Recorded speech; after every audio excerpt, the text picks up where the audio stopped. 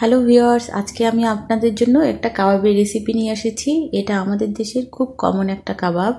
এটা হচ্ছে টিকিয়া কাবাব। বাসায় মেহমান আসলে সবসময় এটা আমরা বানিয়ে থাকি। এটা বানানোও খুব সোজা, আবার খেতেও খুব মজা। ভিওয়ার্স চিকেন টিকিয়া কাবাব বানানোর জন্য আমি এখানে এক কাপ ছোলার ডাল নিয়েছি আর নিয়েছি এক কাপ চিকেন মিন্স এখানে আপনারা চিকেন মিন্সের বদলে যে কোনো বোনলেস চিকেন নিতে পারেন। মশলার জন্য নিয়েছি এক টেবিল চামচ রসুন বাটা, এক টেবিল চামচ আদা বাটা, এক টেবিল চামচ মরিচের গুঁড়া। মরিচের গুঁড়াটা আপনারা যেরকম ঝাল পছন্দ করেন, সেই অনুযায়ী কম বেশি করে নিতে পারেন। নিয়েছি এক চা চামচ ধনিয়া গুঁড়া, এক চা চামচ ভাজা জিরা গুঁড়া। জিরাটা ভেজে তারপরে আমি গুঁড়া করে নিয়েছি। নিয়েছি এক চা চামচ গরম মশলা গুঁড়া। আর নিয়েছি স্বাদ মতো লবণ এবং হাফ চা চামচ হলুদের গুঁড়া। আরও নিয়েছি হাফ কাপ পেঁয়াজ বেরেস্তা। আর নিয়েছি দুই টেবিল চামচ কুকিং অয়েল। পেঁয়াজ বেরেস্তাটা আমি যেই তেলে ভেজেছি সেই তেল নিয়েছি। আরও নিয়েছি দুটো ডিম। আরও নিয়েছি কাবাবগুলা ভাজার জন্য দেড় কাপ তেল এবং দুটো ডিম। এখন একটা হাঁড়িতে আমি সব এক একে দিয়ে দিচ্ছি। প্রথমে ডাল দিয়ে দিয়েছি, এখন দিয়ে দিচ্ছি চিকেন।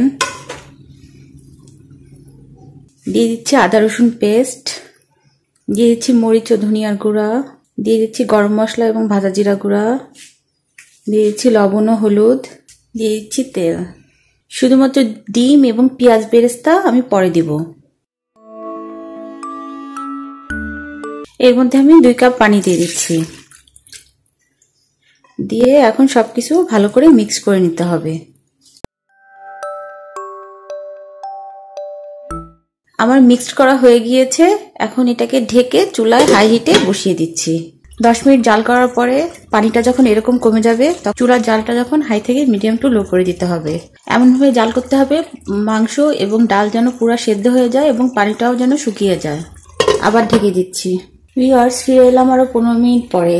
দেখুন, মাংস সেদ্ধ হয়ে গিয়েছে, ডালটাও সেদ্ধ হয়ে গিয়েছে এবং নিচে পানিও নাই। এখন আমি চুলাটা বন্ধ করে দিচ্ছি। এটাকে এখন আমি কিছুটা ঠান্ডা হতে দিব, ঠান্ডা করে তারপরে আমি এটাকে ব্লেন্ড করব। আপনারা এটা পাটায়ও বেটে নিতে পারেন। ভিওয়ার্স আমার মাংস এবং ডালের মিশ্রণটা ব্লেন্ড করা হয়ে গিয়েছে। আমি এটা ব্লেন্ডারে ব্লেন্ড করেছি। এখন আমি এর মধ্যে দিয়ে দিচ্ছি পেঁয়াজ বেরেস্তা। দুটো ডিম দিয়ে দিচ্ছি। এখন ডিম এবং পেঁয়াজ বেরেস্তা ভালো করে এটার সাথে মেখে নিতে হবে। যদি ব্লেন্ড করার সময় একটু বেশি পানি পড়ে যায় এবং এই মিশ্রণটা একটু পাতলা হয়ে যায়, তাহলে কিছুক্ষণ নর্মাল ফ্রিজে রেখে দিলেই এটা আবার একই রকম কনসিস্টেন্সিতে চলে আসবে।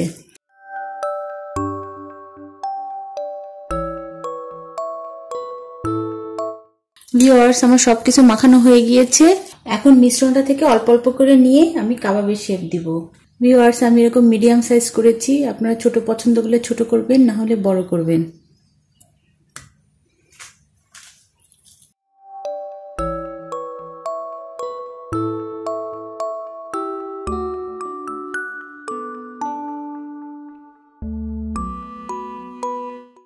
একটা লেয়ার কাবাব বানানোর পরে এটার উপরে আমি এরকম একটা প্লাস্টিক র্যাপ দিয়ে দিয়েছি। এখন আমি বাকি কাবাবগুলো বানিয়ে এর উপরে রাখব। কাবাব বানানোর সময় হাতে যদি বেশি লেগে যায়, তাহলে হাত ধুয়ে এসে আবার বানাতে হবে। তাহলে এরকম মসৃণ কাবাব বানানো যাবে। এরকম প্লাস্টিক র্যাপের উপরে রাখলে একটার সাথে আরেকটা লেগে যাবে না। এরকম প্লাস্টিক র্যাপ ব্যবহার করে আপনারা একটা প্লেটের মধ্যে অনেকগুলা কাবাব সহজে রেখে দিতে পারবেন। বিয়ার্স আমার সব কাবাবগুলো বানানো হয়ে গিয়েছে। এখন এটাকে সেট করার জন্য আমি নর্মাল ফ্রিজে রেখে দিব দুই ঘণ্টার জন্য। ভিওয়ার্স দুই ঘণ্টা পরে আমি কাবাবগুলা ফ্রিজ থেকে বের করে নিয়েছি। এখন এগুলো ভাজার পালা। ভাজার জন্য প্রথমে ডিম দুটা ভেঙে নিচ্ছি। এখন ডিম ভালোভাবে ফেটে নিতে হবে। ডিম ফেটানো হয়ে গিয়েছে, চলুন আমরা এখন ভাজা শুরু করি।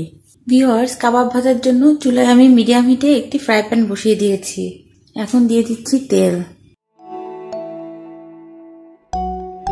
ভিওয়ার্স কাবাব ভাজার জন্য তেলটাকে মোটামুটি গরম করতে হবে। ঠান্ডা তেলে কিংবা একদম গরম তেলে কাবাব ভাজা যাবে না। ঠান্ডা তেলে কাবাব দিলে কাবাবটা খুলে যাবে আর যদি বেশি গরম তেলে দেওয়া হয়, তাহলে উপরেরটা খুব তাড়াতাড়ি পুড়ে যাবে। এখন একটা করে কাবাব নিতে হবে এবং ডিমের তেলের মধ্যে ছেড়ে দিতে হবে। যেহেতু এই কাবাবটা ডাল দিয়ে বানানো হয়, তো ডিমের মিশ্রণে চুবিয়ে যদি না দেওয়া হয়, তাহলে কাবাবটা সাথে সাথে তেলের মধ্যে খুলে যাবে।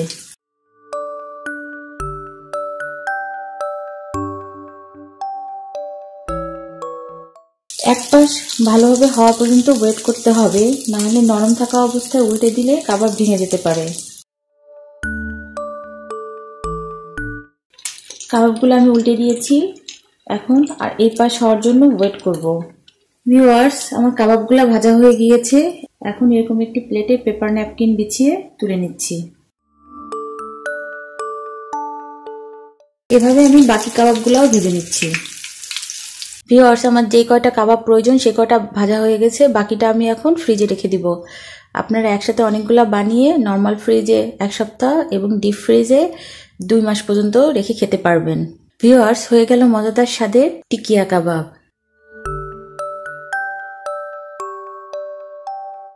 ভিওয়ার্স আমি এখন একটি কাবাব ভেঙে দেখাচ্ছি। দেখুন, ভিতরটা কতটা ইয়াম্মি। এটা খেতেও খুব মজা হয়েছে। আমার ভিডিওটা যদি আপনাদের ভালো লাগে, তাহলে অবশ্যই লাইক কমেন্টস এবং ফ্রেন্ডস অ্যান্ড ফ্যামিলির মধ্যে শেয়ার করবেন এবং সাবস্ক্রাইব করে সাথে থাকবেন।